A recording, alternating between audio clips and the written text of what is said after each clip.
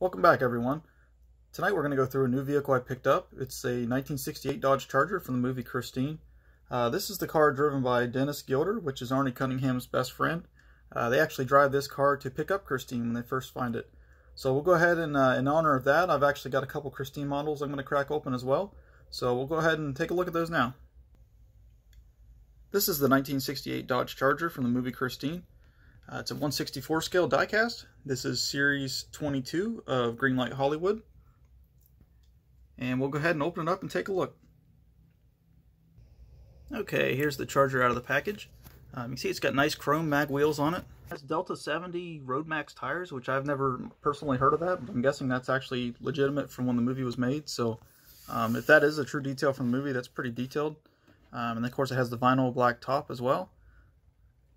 Um, it's kind of a satin, you know, matte color. Good detail on the back. Um, and then, of course, the hood opens as well. So we'll look at the engine now.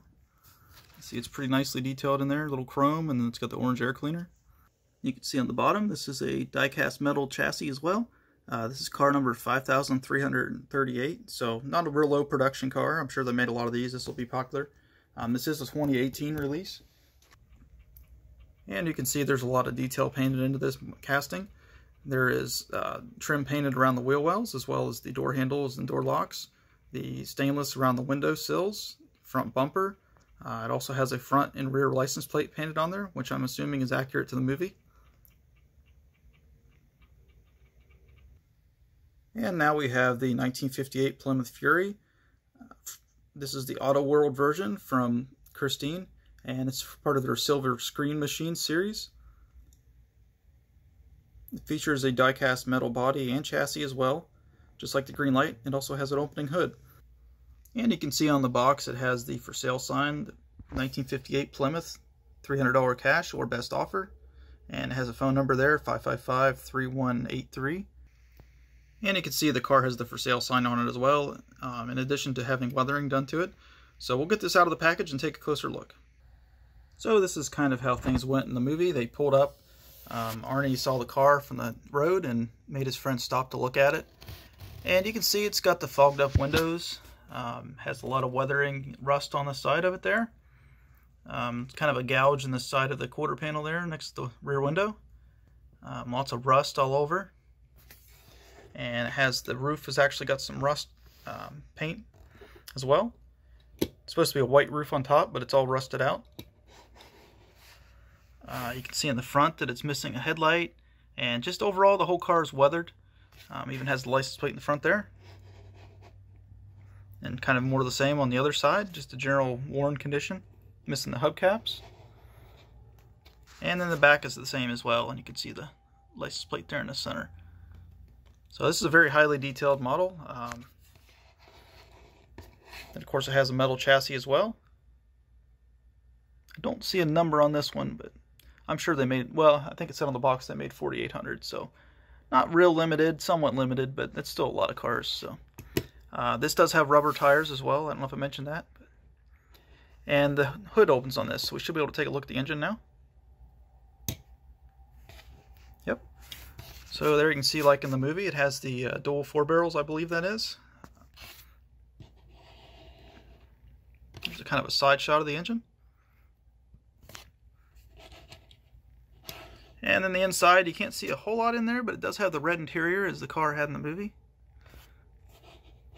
Kind of just barely see. You can see through the back glass there a little better that's red, but um, it's kind of fogged up, so it's hard to see inside it. So that's the 1958 Plymouth Fury, kind of the weathered uh, purchase edition from when Arnie first finds it. And then we'll go ahead and open another now. This will be the final car for today's video. Uh, this is the kind of evil version of the 58 Plymouth Fury Christine. Um, it's also from Auto World. And this is from the Silver Screen Machines as well.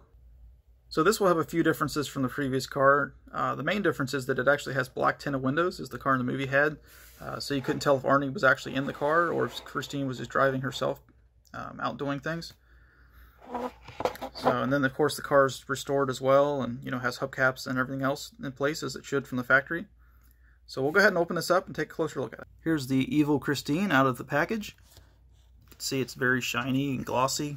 Um, everything's been restored from the previous version, but like I said, uh, I guess you can see through the windows. It's not solid black. It is just tinted. You can actually see in there. So um, I guess if you looked hard enough, maybe you could see if Arnie was driving or not. Um, but anyway, it's kind of a smoked black. And of course, the rest of the car's got high detail on it. Um, has gold trim on the rear by the taillights there. And then has the silver stripe going all the way across the side of the car. And of course, it's got a little gold emblem in the middle there. And then the silver grille. The headlight's been replaced. And we'll go ahead and open the hood on this one as well. Okay, you can see that the engine's uh, a little more detailed than the previous version. Uh, it's got the gold paint on the intake manifold, as well as silver paint on the valve covers and air cleaners. There's kind of a front view of it. This is a part um, from the beginning of the movie. I don't know if you guys have seen it or not, but the hood actually closes on one of the factory assembly line workers and um, hurts his hand really bad.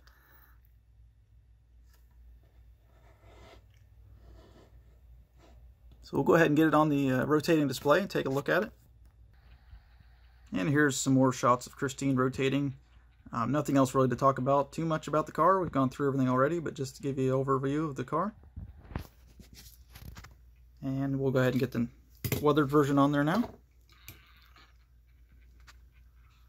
See quite a difference between the two, but these are both Auto World, so same casting and everything, so it's a nice comparison between the two. We'll get them side by side. I do expect that Greenlight's probably coming out with their own version. I don't know that they have to this point, um, but they have the licensing for Christine, so I'd say that's on the way here soon. If it hasn't been announced already, I'm sure it will be. But here's the two side by side. And again, here's the 1968 Dodge Charger. I'll put links in the description below the video in case you'd like to purchase your own of one of these vehicles. Uh, if you haven't subscribed, be sure to do so so you don't miss a future video. Thanks for watching and have a great day.